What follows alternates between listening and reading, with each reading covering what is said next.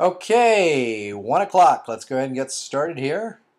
Show you my screen. Thank you for being here, everybody. For those of you who haven't been here before, this is the weekly JV Partner webinar, uh, which what I mean by that is that oftentimes, not all the time, but oftentimes I have some of the folks I'm working with uh, that are on the call. And today I just see Avish is about to be dialed in here. So we will uh, talk with him. And Avish, what's happening? Hey, Fred, how you doing? I'm good. How are you? Pretty good. Good. Well, thanks for being here. I guess you're the only one uh, who uh, who isn't working feverishly, I see. That's how it is. other than me.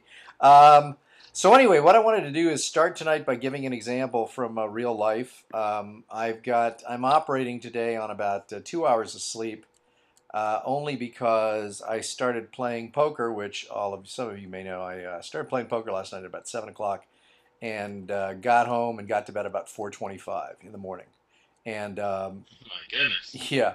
The example that I wanted to give, though, uh, really is sort of a pretty good business slash life lesson, which is this. What I noticed is, uh, first off, there's a couple of general things um, that I have I have noticed um, about myself. First off, never play when tired, and never play impatient because it's a game that requires uh, a lot of patience. And I think this is true in any kind of business, whether it's information marketing or any other business. I think those two things apply pretty uh, pretty readily to those to the other fields, like anything in information marketing. But more importantly, and I think the most important thing that I learned from last night is always play anything or do anything when you have a competitive advantage. Now, let me explain to you. I am, uh, you know, I have a drink every once in a while, but uh, I'm not a big drinker. And uh, there was a guy at the table last night who was a really good guy. As it turns out, he says, and I trust him, he went to Yale Law School and he's on track to become a, uh, a, uh federal judge. But uh, he he can't do any other controlled substances because that would make him ineligible if caught to become a judge. But there is nothing wrong in these United States with someone being, and I, I don't mean to say this about him, with being a drunk. Um, that's okay. So what happened was when I met him, he was only on his second um Corona and second Jägermeister bomb, Jaeger bomb. Uh, and for those of you who aren't familiar, Avish, why don't you sort of impart the wisdom of uh, wisdom of what a Jaeger bomb is? Since I'm not, I'm less of a drinker, but not to say you're a, you're a lush, but tell people. You know, I'm not exactly sure what a Jaeger bomb is. I know what a car bomb is. I'm Okay. assuming it's similar. Okay, so here's what a Jaeger bomb is. Apparently, it's Jägermeister with some kind of energy drink mixed together. Oh. So you're both Right. getting an alcoholic impairment as well as getting a buzz. So like you're getting mm-hmm. like a, a, a, a speedy kind of thing happening along with getting progressively more drunk. Well, what happened was that this guy is, when he's not drunk, a pretty damn good poker player. And he accumulated, you know, maybe seven, eight hundred dollars worth of chips. And some of them were from me, but not many of them because I was sort of careful to stay out of his way. But what happened was, as he got to his fourth and fifth, maybe even sixth Jaeger bomb and sixth uh, Corona, he started playing really, really sloppy, and he eventually lost all his chips. Unfortunately, not to me. Um, because I mean, given that I was being nice to him, if he was going to lose it to anyone, I think he really should have given it to me.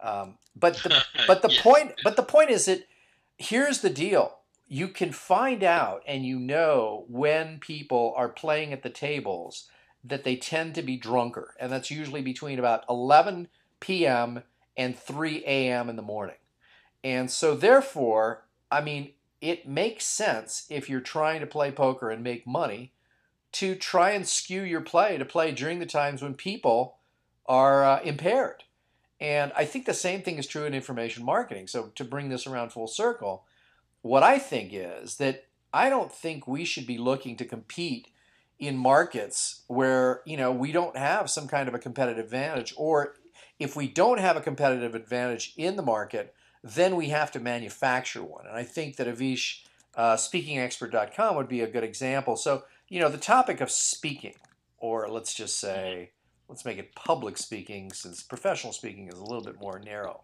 So, public speaking, Avish's topic, right?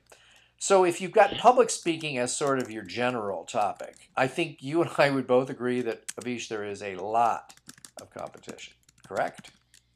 Yep. Okay, so then the question is in order to gain, uh, uh, maintain or gain a competitive advantage, how do you do that with a topic like public speaking that is more general? And rather than just asking and answering the questions, I know that Avish is, you know, he's, I went to a state school, he went to an Ivy League school, so I can ask him, I can ask him these questions knowing that I'll get the correct answer. So, um, Avish, what would we then have to do with public speaking or speaking in general in order to create a competitive advantage for ourselves? Well, it'd be niching it down to a tight focus where we have expertise and credibility, and there's not as much competition. Yeah, I think that's exactly right. Um, and I think that everybody listening on the call would be, you know, they'd be in the same uh, position, which is to gain a competitive advantage. Oftentimes, you take a general topic and you make it more specific and you niche it down and you do that in a way.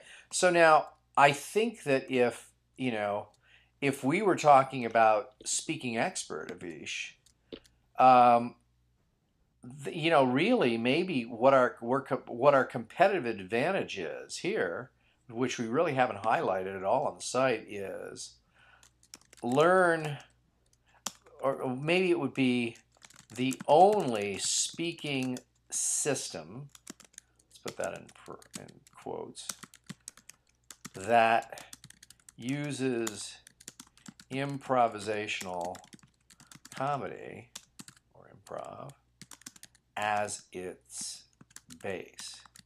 So now, naturally, we'd have to explain why that's important and valuable.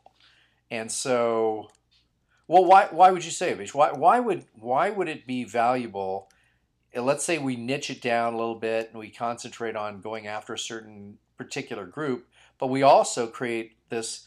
It's the only speaking system that uses improv improv comedy as its base. What what would you say? Why is that valuable or important or necessary? Why would a speaker care about the fact that our system's the only one that uses improv as the base? Or why would somebody who's thinking of buying anything from us give a rat's behind about whether or not we're using improv comedy as our base? Why is that different from a lot of the stuff out there?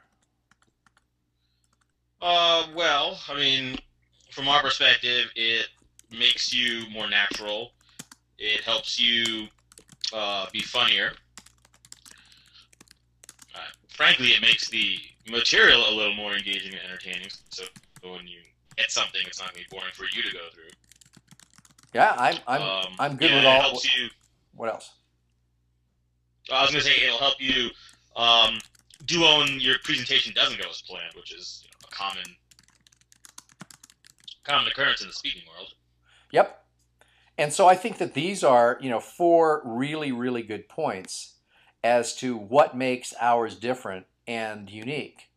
And I think we should sort of tend to highlight those because that's going to show people, as opposed to some stiff, you know, very stodgy approach to the speaking business, we're instead using this particular approach, which is, you know, much more effective, and here's why.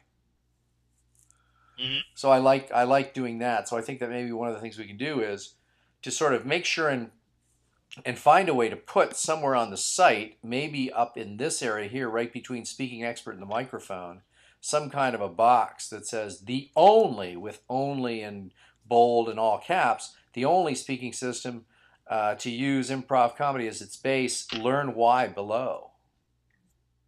Learn why that's important, or learn why that's so important. Learn why that's essential to your speaking success below. So I think that we may want to, you know, come up with something like that. Rather than, because when people come here, they've probably seen this kind of a pitch about speaking from a number of different sources. So right. let's try and make it, I mean, maybe we should make it a little bit more. I, I like that idea. So what do you think? I mean, I like it in theory. It's kind of bringing us full circle to where we started a few years back, which I don't know if that's a good thing or a bad thing because we, you know, I think it's um, it's one of those things no one's looking for, but once they get here, it appeals to them. Yeah, I think that maybe makes in sense. terms of in terms of how we get traffic here, we wouldn't be concentrating on improv comedy. We'd be concentrating on public speaking. But once they get here, in order to create a USP for ourselves or something that makes us stand out, I think that might be helpful. Mhm. Certainly worth trying. Uh, Speaking of which, then what are our what are our numbers? Do you have any of those in terms of percentages? Percentage of people who visit who opt in? Uh, I can look that up, but um, I was working with Stan a little bit because the site was down. He had to, someone was doing something on the site, so he had to like go in and fix some security holes. Yeah, there was some But I'm getting a lot of like crap signups. So Yeah. I'm not sure what that means for the numbers, but let me look. Yeah, I'm just curious. you know how that uh, how it looks in terms of the uh, percentages, because obviously, few things will be affected by this, and one is you know, and and and, and I have no problems with us if we want to do some testing to to test a video without my being even on there. I don't really care. We can, you know, I think maybe we should play with that a little bit. Right, as so. I can just put one up without. Uh, Yeah, and by the way, Avish, well, let's it- see in the last. I Yeah. was I was going to tell you that um, I've gotten, and I think I told may have told this to you last time. Um, yeah, I did tell everybody here. Let me just give you uh, uh, the while you're looking, Carl.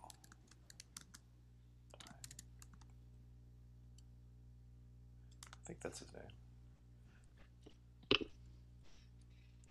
No. Conversion rate experts. There it is. Okay, so this is. I'm going to talk with this guy next week, and we're going to do some stuff specifically on landing pages. And once that is done, I'm going to make that available on the main site on fredgleeck.com. But you know, it'll be great for uh, for you as well as everybody who's on the call on the webinar to go check that out as well. So that's something that you may Cool. want to everybody may want to do. Um, so that's that's a that's a good thing. So what were, were you were you checking on that, Avish? What'd you find out? Anything? God, yeah, in the last month it's only uh, about three and a half percent. Okay, so three point five percent opt-ins. So we need to. Now, how many total visitors was that based on? Let me see. Uh, 321 unique visitors. Three twenty-one unique. So we literally only got like ten.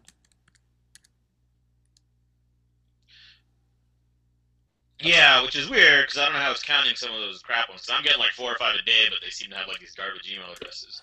Yeah. So Um, But I mean, the, the point is here we're we've got to do something better, and maybe you know switch it up. Try you know test a new video, put a new video on there, do something crazy, shocking, whatever. Just let's let's try and Mhm. and just you know wear a gorilla suit, do something. You know, let's Okay. let's. I mean, it's when we have this kind of an opt-in rate. And by the way, so you might, might be asking, like people are thinking, well, what's a good opt-in rate? And the answer is as high as possible. But at one point, Bill DeWees was getting, I think, like 13%. You know, so obviously, if we can be north of 10%, we're doing well in terms of Mhm. of, of terms of percent percentage of folks who opt in. That's our goal is north of 10%. That would be what we're trying for. So I'd encourage everyone to look at their numbers. And by the way, it you know, it, it doesn't it's not a problem to just change things. So in, in this here, we may put something else, the only system over here, and you may change the video and just do you talking directly to the camera rather than the two of us. I mean, let's let's try stuff. Mhm. You know, because that's those numbers aren't you know they're, they're that that's those aren't good. So let's see if we can change it. Let's see. Um, the other thing is, what have you done um, since we last spoke? Any any progress on the ClickBank stuff? Uh, no, you know, I was trying to make head or tails of the analytics, which are a little confusing. Um, I haven't done, I haven't made a lot of progress with that, other than just kind of. The ClickBank analytics? Yeah. Explain what you're talking about. When you log into ClickBank, you can go into reports, which it defaults to like your sales reports, but um, there's a thing called analytics, which lists how many visitors or whatnot you've gotten to your uh, sales page and whatnot. You know, how many, whatever. It, like I said, this is where it gets a little confusing. This is probably an addendum to that thing I did for you. Is you know, they have like say, oh, these how many hops you got to your and from all these different user accounts. I don't really know what that means. I've been trying to figure that out, see how we can use that. Yep, I agree. So put it down, and if you want to have a, the other thing we could do is we could have a uh, a conversation, you, me, and, and Andrew, because he Mhm. recently sent me an email said, hey, let's you know let's get going, and I was like, okay, but I still don't really know what to do, et cetera, et cetera. Yeah. Okay. So uh, let's uh, let's let's get on the phone. Let's make a note to try and get on the phone with Andrew about that. Yeah. Super duper. Okay, so let's see here. What what else am I uh, working on? That's uh, I you know I also found out, and I don't want to give any specific names on this, but I um, there are times when you have to sort of just suck it up and realize that things don't always go right. Um, I've had a couple of incidents recently where I've actually gotten on a plane and not been able to meet with certain people who said they'd be available and you know it wasn't really their fault whatever and and you can you know you can choose one of a couple different responses i mean you can choose to just be really annoyed and give the person a piece of your mind and and uh, really tell them how pissed off you are or you can just understand that hey same thing could have happened to you and the net result is when you do that uh, two things happened to me. No, well, first thing that happened to me is th- uh, really three. So, uh, number one is uh, I got a a great I'm sorry gift. Number two is they feel guilty and owe you something. And number three is um, you know number three is when they do put your project front and center, it will get done well. I mean, I, I this is like you know, so I'm uh, I used to be not as good as at this when I was younger because I was kind of like I used to used to just sort of yell and scream at people, and that's not very effective as a strategy. I found. Um, so it's it's just a little bit better because the answer is, or the question is, do you want to, do you want to just show people how right you are, or do you want to make money? And sometimes the answer, I mean, if your answer to that is make money, well then yelling is probably not a good way to go. You know, it just doesn't really work is an effective means of motivating most people. Um, Anyway, Mhm. so that's that's something. Now, the other thing that we've got going on, and this is uh, something that you, you know, if you, I know you're you're sort of more uh, tied up now because of um, personal domestic situations, but I will make you the offer anyway. This, um, and I'll, you know what? I'll make this offer to anyone who's listening to this program. How's this?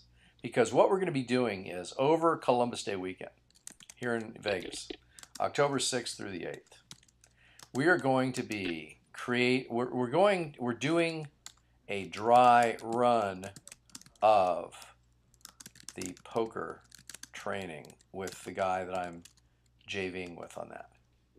And so if anybody is going to be or wants to learn how to play poker, we got uh, a guy who's going to be training uh, actually it's Bill DeWees's wife and his daughter. And uh, they are going to be while Bill and I are working on uh, putting together his book. Which, by the way, that's another thing I should let me just talk to you. Some of you listening to this know how important it is to have a book. Some of you have books, some of you don't. If you don't have a book, um, I'm on. I'm getting close to number 20 now, but I'm way way behind Bob Bly, who's uh, up in the mid 80s in terms of total number of books written. Yeah, I mean it's it's ridiculous. He should you know he should stop and let me catch up. Um, he should write some for you. he, he should really. Um, so, but there's two things going on here. Number one is, you know, in order to dry test, dry, you know, do a dry run of the poker training. And all of us, no matter what field we're in, we can do this. Is you assemble a bunch of people. The first time you do it, it's probably going to have some kinks and some problems. But if people aren't paying for it, you know, they can't really bitch too much. So get them to show up and do a dry run in front of your friends. Do it once, do it twice, do it three or four times. I don't know until you feel you're ready for prime time, and then you can either do it live and ask people to pay for it, or you can then record it and create a product out of it. So that's what we're going to be doing in the poker arena. But I think it's a good idea, and and and you'll get a kick out of this. I've become uh, I've, I've become last time I was in New York. Uh, I'm going to become sort of fairly. Let me see here now. David all of a sudden has a question. Let me see what his question is. Um, see, I'll get to that, David. I'm not quite ready. I see you have a bunch of them there. Um, but one of the things that one of the things that I have decided is I found a way to secretly, uh, sort of like you know, remember that whole hubbub where the guy uh, recorded some some interview that he did with Planned Parenthood where he acted like he was this girl's pimp. Do you remember that, Avish? No, I don't. I don't oh yeah, it was a guy named James. Um, uh, let me. I can. I could Google it. But basically, this guy recorded an interview with Planned Parenthood. He was trying. He was like he had a conservative agenda, and he was trying to bust Planned Parenthood on the advice that they gave with regards to, you know, various things. So he went in there and he said, yeah, and he brought the girl in and he said, you know, I'm thinking of uh, allowing this woman to uh, to prostitute herself, and she's there nodding or something. I forget exactly how it went, but he basically did a hidden recording of the whole thing. So what I'm going to try and do is is do some recording um, of some, you know, especially things like, and I don't, again, I'm going to have to clear this with my lawyer, so I don't know what's going on. But there, I, I think that the idea of doing some some recordings of whether it's poker or something else uh, would be pretty cool. I've always thought that kind of uh, spy sleuthing kind of thing would be kind of neat to do. Um, mm-hmm. And so, especially like in the poker environment, it would be great if you could actually see what cards were being dealt and, and how the game was played for real and stuff like that. I think that people would benefit a lot from that.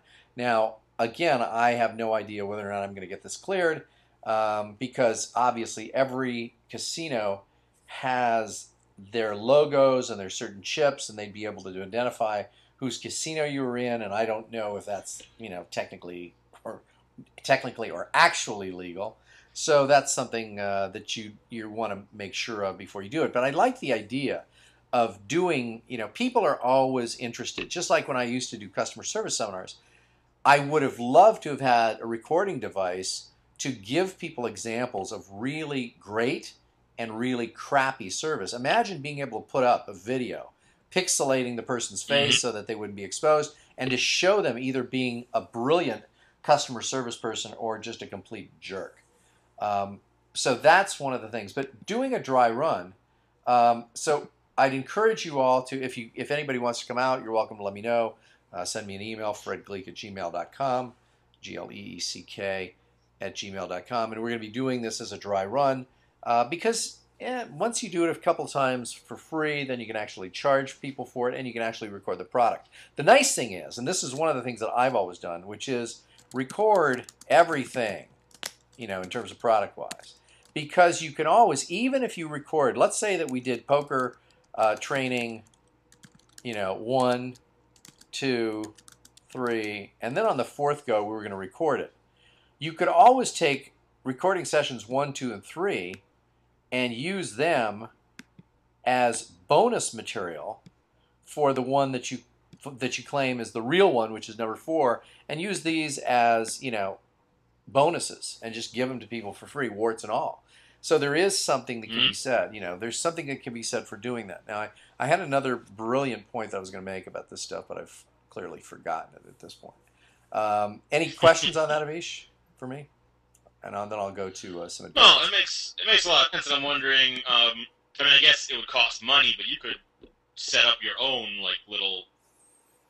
You'd have to get like a table and a, like a professional dealer and pay them for the day. But like if you want, if you couldn't get into a casino to record your own, yeah, um, like you think there'd be that much value to it. Yeah, no, I mean there there definitely. Um, we're definitely going to do that because we actually have access to uh, one of the guys, the guy that I'm working with, my JV partner, who's not. I don't think he's on the call, um, but but the same guy who does uh, spasmodic dysphonia is also a partner in the poker um, in the poker niche, and he is uh, you know the guy that he uh, he works with has this incredible house setup of a poker table that's like really high end and it looks really really good. So yeah, we could do that as well, and that we were intending to.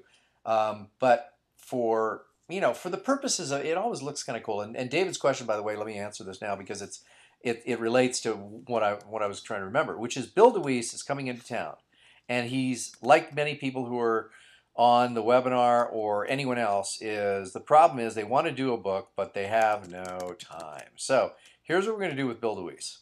Bill is going to come into town. We're going to have an outline, an extensive outline of his material, which is extensive outline. And it has his voiceover stuff. So we've already come up with. Did you see, by the way, yet his um, the logo? I mean, the cover for his book. No, I didn't see that. Uh, it's pretty cool. I I should. You know what? I wish I could. I wonder if I can pull it up. You know what? I might be able to, but I'm not sure I can. Um, hmm. Uh, let me let me try and figure it out. I don't think I have it on this computer. So what it is though, just to give you an idea of the image, is it's of a you know like you know how you see when a match strikes the this the, the, that sort of sandpaper kind of surface and it's igniting, and if you caught that just as it was catching fire, Mm-hmm. Yeah. picture that instead of a, a match, it was a microphone. Ah, nice. So so my this was my idea for an image. I'll take full credit whether it was or not, but um, um, but I came up with this and I said to Bill, wouldn't that be cool? And and it's uh, how to start start and build a lucrative voiceover practice. Parentheses how to set your VO career on fire. Ooh, Yeah. So the idea, on. yeah, you like that? I do. Yeah. So the, what would happen is, and so we we decided. I, I told, and this is, I, I think this holds true for everybody, which is that if you want, so if you want to get a book done fast, here are a couple things. Number one, design and create your cover first. Because now that he has the cover, he says, man, that's going to look great when we have the book out. Well, yeah, well, now we need the guts of the book. Um, Yeah. The next thing is, and this is what we're going to do, is we're not, I've decided that there are, you know, what I tried to do before, as you recall, is to record, record an interview and then have a, a writer or ghostwriter uh, turn it into a book, what we call maybe narrative. And that didn't work at all. Uh, it, it just didn't work. So rather than doing that, uh, we're just going to go with the, we're gonna, just going to clean up and use the Q&A sort of as is, but edited. So we're going to have the book is going to have every chapter. So first thing, the other thing I did is an- another thing here is write intro and conclusion first. So after you design the cover, that would be step one. Then go down here and write your intro and, and conclusion. So then what I said to Bill is, and this was his assignment, which is five is create an outline for the guts of the book. So now, so what he's done is he's written his intro and his conclusion. And then he's coming up with, I think it's like 16 chapters or 15 chapters, whatever it is. So you've got intro, 15 chapters, and conclusion, and then maybe a section for resources. I'll abbreviate that RESC. So now you got your intro, you got your conclusion, you got your 15 chapters, and in the 15, now this is going to actually be written, the intro and the conclusion, but the 15 chapters are merely going to be Q&A of me asking Bill questions based on the outline that he gives me and puts together and, and hands to me when he gets here. So we're going to record that, we're going to do some minor editing, and so the book, when you pick it up, is going to have question, question, Q, colon, me asking a question and Bill giving the answer.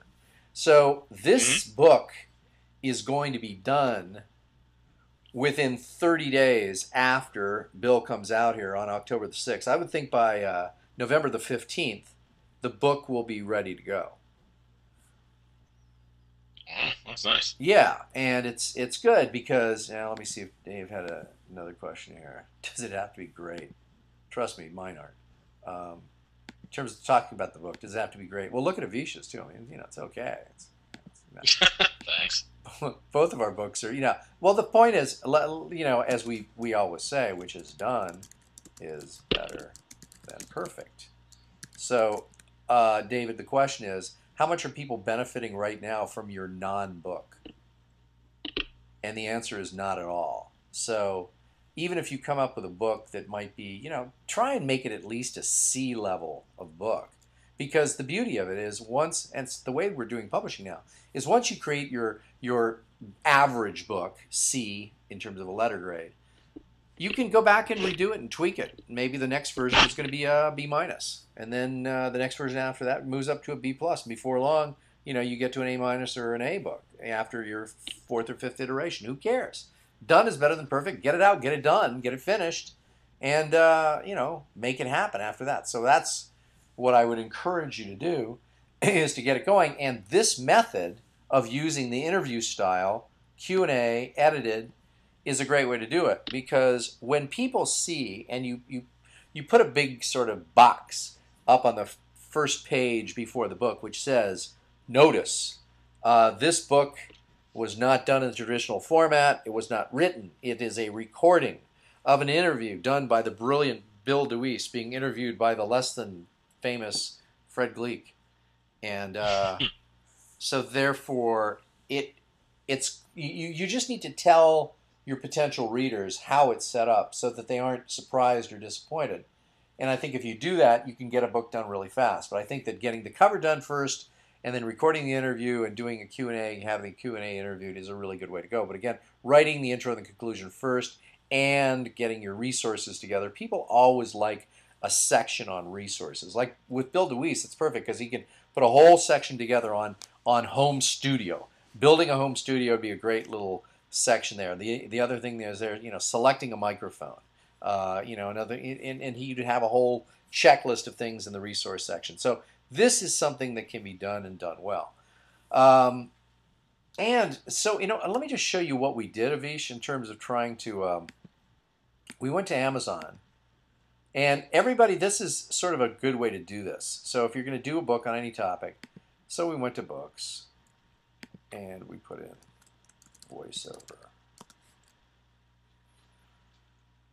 And so we looked at the very various books that were out there on voiceovers, and you know we asked ourselves, okay, you know what what is this? Is ours better? How can it be different? Um, you know, there's just a lot of questions and things you can figure out. You look at the reviews, like this guy got 22 of them. That's pretty good. Uh, this guy got 72 reviews, and they're all five star. That's pretty amazing there. Um, Tales and Techniques of a Voiceover Actor by Harlan Hogan. Um, no idea who he is. I'm sure Bill knows him. And so this is, you know, you can do your research by just going through and seeing what other people have done. And and I'd encourage you to buy. This this is pretty impressive. This guy has 72 reviews and uh, five star rating. Let's just see what his. Golly. Now you know what? Doesn't this, Avish? Take a look. Can you see my screen? Yeah. What bothers you about these? About this? Well, yeah, the fact that there's that many reviews and they're almost, except for two, all five star and four star. Yeah, I'm suspicious that this is a setup. it is now. I'm not accusing him of doing anything wrong, but it does make it seem less real. Yeah, it you know, and this is it does it something doesn't seem right. So I'm actually encouraging you to uh, to make sure that if you have, I mean, and I'm saying that if you have X number of positive reviews, that I don't think they should all be five stars. This looks this looks really fishy to me. Really does. No three star, no two star, no one star reviews out of 72 reviews. I just think, I mean, God bless them. I, th- I hope it's a great book, but it just seems it would worry me Um, so the other thing is, this is interesting too. Um, this is this is a real name of this person, but it is not a bona, bona fide purchase. This one is a bona fide Amazon purchase. What's this? I'll show you what this is. This is an Amazon bona fide Amazon purchase. It means that the customer who wrote the review purchased the item at Amazon.com. Customers can add this label to their review only if they verify the item being reviewed was purchased at Amazon.com. It sort of looks, it sort of looks um, more legit. So if you scroll down through his five star star reviews, I think you will notice that some of them have real names, but very few of them actually purchased. Well, here's another one. I mean, so this guy must have a, may have a great book. And in a case like this, if we're doing our research, go ahead and get a couple of your competitors' books to see what they're doing, so you can figure out what you want to do as well. Um, Avish, any uh, thoughts, ideas, questions, comments? Uh, no, it. Uh, I mean, it all makes sense. I mean, I guess the one thing I was doing is you take your competitors' books or books on the same topic, almost go through it like you're doing a research paper, and I make notes of like things I agree with and things I disagree with because those disagreements are what's gonna set your book apart. You know, as opposed to just being familiar with it, actually say, well, here's this person says this. I think this is not quite right, or I think this is wrong, and um, you know, make notes, and that can because you want to be able to say, you know, why your book versus the other twenty that are out in the market on the same topic. I I like that. Yeah, so I mean, you go through competition, take notes, say what you agree and disagree with. It'll help you to more easily put your own book together. Um, again, I think that doing the interview style can get a book out quickly, and provided that you let people know uh, what you know what exactly the format of the book is. I think that the only time you get people really annoyed at you is if you misrepresent and say one thing and it actually turns out to be something else. But if you tell people, and this is what we're going to do in Bill DeWees's case, is that I'm going to tell people, hey, you know, Bill is a working voiceover guy. He didn't have much time. He and I sat down over Columbus Day weekend and we knocked this thing out. And it's going to be, you know, it's not going to be your typical, typical looking book, but it'll have everything you need and more and we intend to get uh, 75 positive reviews to knock uh, Harlan out of his spot. So, other thoughts, Vish? Uh, I got nothing else Okay, cool. Let's hope. Uh, David has been uh, hammering me with some questions, but I think I answered uh, most of them here. Anybody else have any questions? Let's. Uh, what about entries on one's blog? Uh, yeah, I blog entries might be a good. Uh, let me just see here. Uh, what about entries in one's blog? Does that mean those questions can't be on off answered in the blog? No, it doesn't mean that at all, David. What it means is you just have you have to have some means, you know, of uh, you could use your blog post, you can use anything. You just got to get get your information out there. Even if you've done blog posts on the topic before, you can include those you know, and uh, so I mean, questions not answered, questions answered on the blog.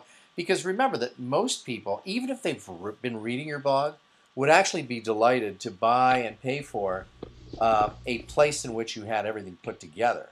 So I don't have a problem with it. Again, telling people exactly what you've done so that you don't want to fool them and say, oh, this is completely new material. And the guy goes, dude, you know, three quarters of what you talked about, you'd already blogged about. I've been reading your blog for three years. And basically, this book was uh, kind of ridiculous because it gave me exactly what I got reading your blog. You don't want to do that. So that's something. I like Avish's idea of going through the competition's material, taking notes, and then highlighting what's new and different, unique about your approach. It's a good idea. Good, good, good idea.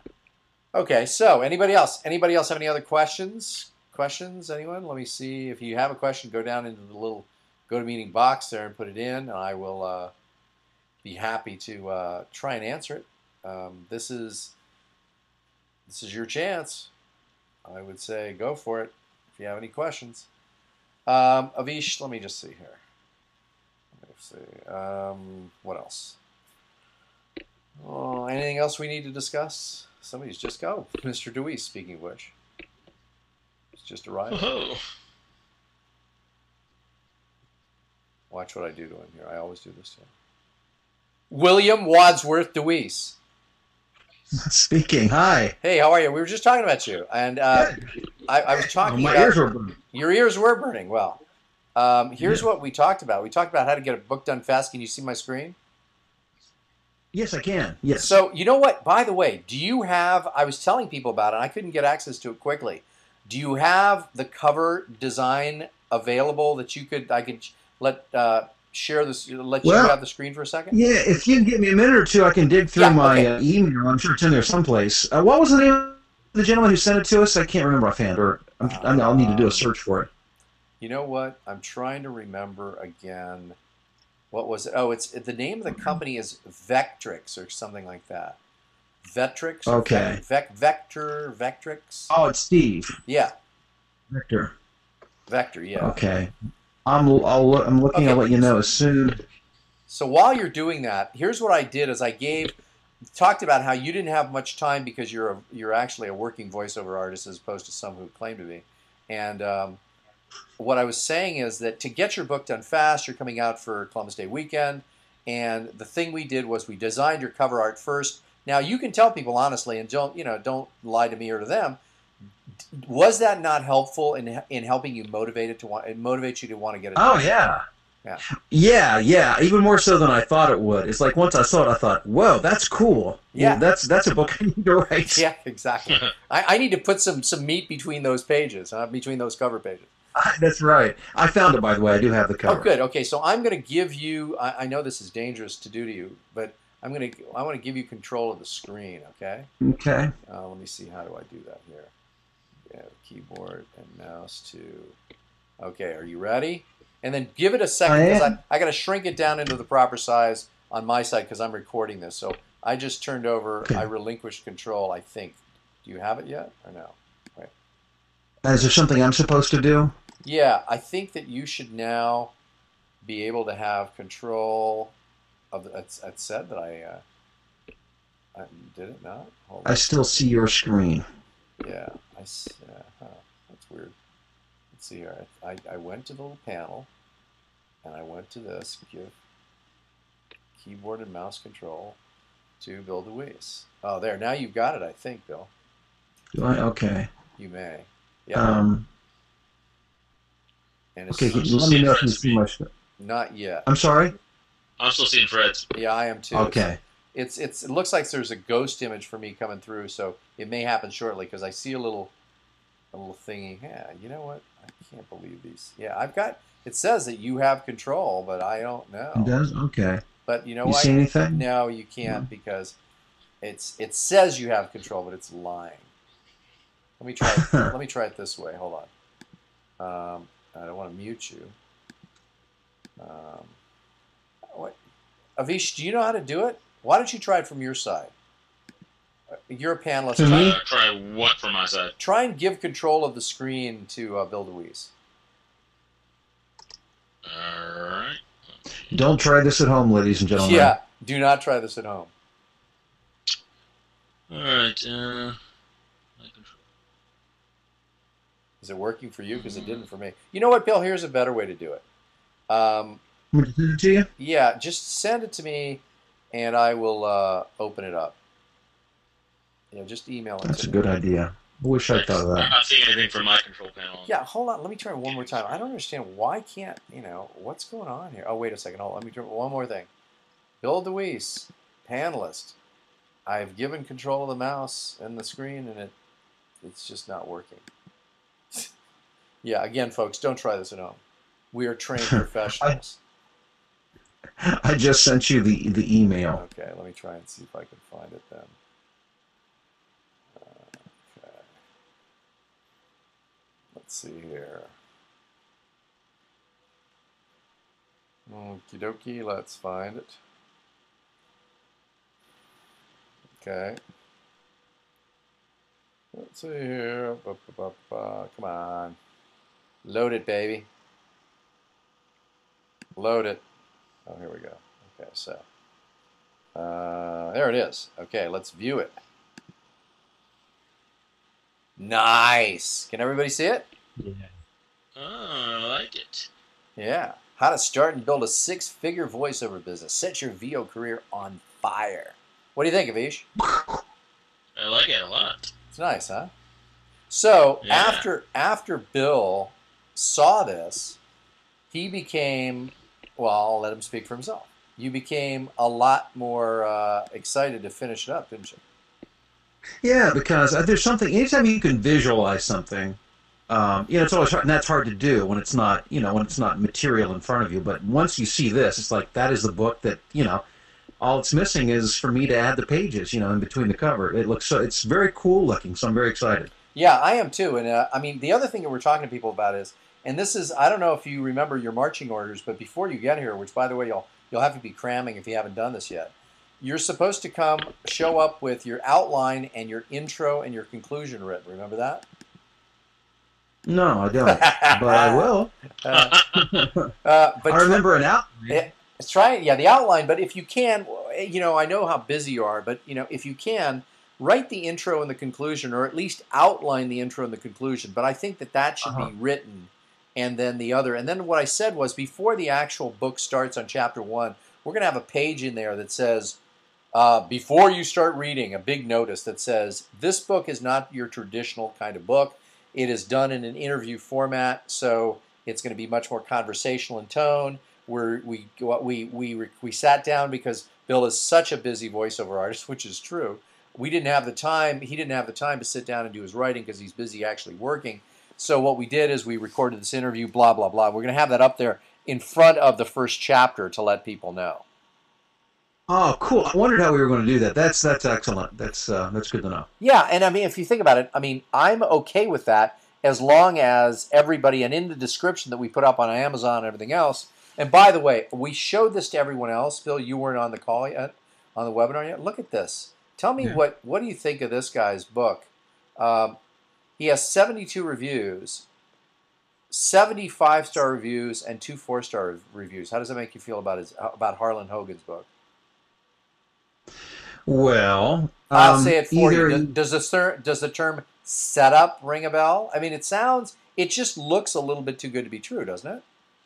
Yeah, it does. I will tell you this. I know that he is highly respected. Uh, as a matter of fact, he's holding a free webinar tonight. Oh, is he? Um, and he's been he's been doing this probably in his 60s. He's been doing this forever. Okay, so we don't want Uh, to and- diss Harlan, but Harlan, if you're listening and if you ever hear this, what we would suggest is that even if you feel it's not the right thing to do, have a couple people write a three and a two star review.